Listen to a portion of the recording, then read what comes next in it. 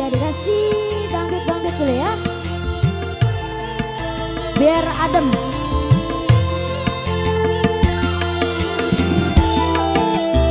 kembali cahaya